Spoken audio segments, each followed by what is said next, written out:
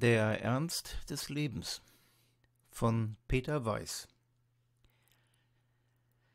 In der lethargischen Stunde zwischen zwei und drei lag ich auf dem Sofa im Wohnzimmer, die Hände unter dem Kopf verschränkt, hinüberstarrend auf den Farbdruck an der Wand, der Hannibals Grab darstellte. Unter einem graubraunen, wuchtigen, weit verzweigten Baum erhob sich ein Steinhaufen, und daneben stand ein alter Schäfer, sinnend auf seinen Stab gestützt, und vor ihm, im wilden trockenen Gras, weidete die Herde der Schafe. Das Fenster zur Straße stand offen, draußen staubte weißes Sonnenlicht, vom Tennisplatz an der gegenüberliegenden Straßenseite tönten träge, dumpfe Ballschläge. Zuweilen summte dicht unterm Fenster ein Auto vorbei oder eine Radglocke klingelte. Der Gedanke an die Stadt draußen belebte mich. Ich sah die langen breiten Straßenzüge vor mir, die riesigen, von gebeugten steinernen Sklaven getragenen Häuser, die Schlösser, Museen, Monumente und Türme, die Hochbahnen auf ihren Brücken und die unterirdischen Bahnen mit ihrem Gedränge und ihren klappernden Reklameschildern. Schon wollte ich aufstehen. Da stand meine Mutter vor mir. Nie merkte ich, wie sie ins Zimmer kam. Immer erschien sie plötzlich mitten im Zimmer, wie aus dem Boden emporgewachsen, den Raum mit ihrer Allmacht beherrschend. Hast du deine Aufgaben gemacht? Fragte sie, und ich sank zurück in meine Müdigkeit. Noch einmal fragte sie Bist du schon fertig mit deinen Aufgaben? Aus meiner dumpfen Lage heraus antwortete ich Ich mache sie später. Sie aber rief Du machst sie jetzt. Ich mach sie nachher, sagte ich in einem schwachen Versuch des Widerspruchs.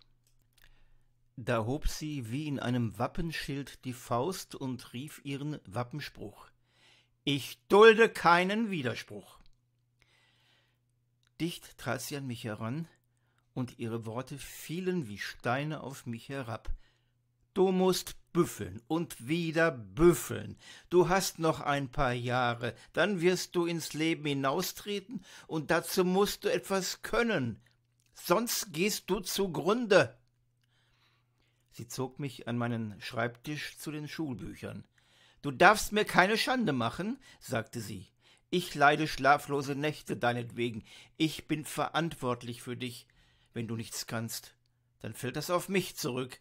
Leben heißt arbeiten, arbeiten und arbeiten und immer wieder arbeiten. Dann ließ sie mich allein. Neben mir auf einem Brett stand das Modell einer Stadt, das ich mir aus Papier und Zellophan, aus Drähten und Stäben erbaut hatte. Nach meinen zerstörerischen Spielen war dies der erste konstruktive Versuch. Es war eine Zukunftsstadt, eine utopische Metropole, doch sie war unvollendet, skeletthaft. Ich wusste plötzlich, dass ich nicht daran weiterbauen würde.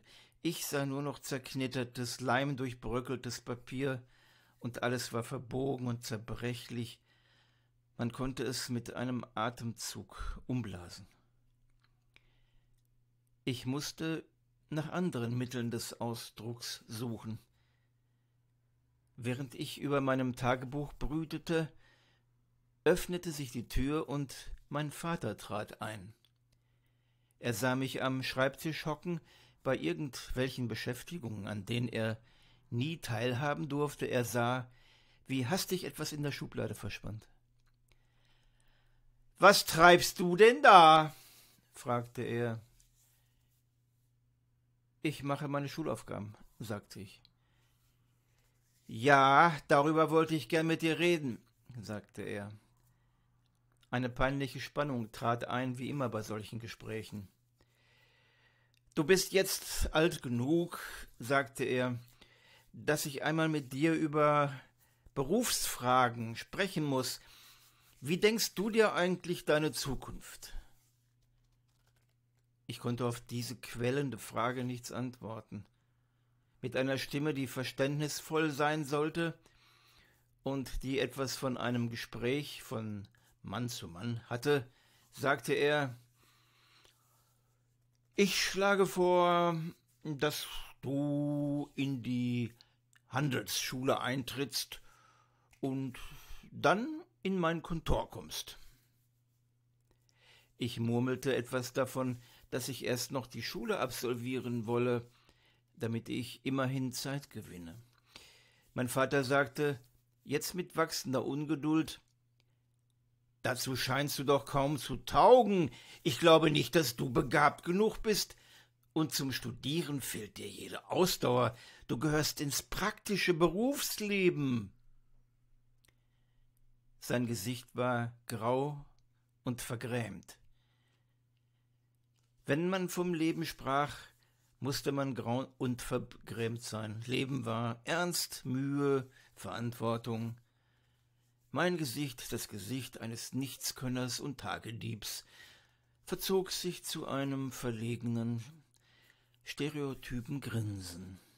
Gekränkt sagte mein Vater, Du brauchst gar nicht zu lachen, das Leben ist kein Spaß, es wird Zeit, dass du einmal wirklich arbeiten lernst. Vielleicht spürte er eine Regung von Zärtlichkeit für mich, doch als er meinen schiefen, feindlichen Blick sah, musste er sich hart machen und seinen festen Willen zeigen. Mit der flachen Hand schlug er auf den Tisch und rief, wenn dieses Schuljahr zu Ende ist, dann ist es Schluss mit den Träumereien, dann wirst du dich endlich der Realität des Daseins widmen.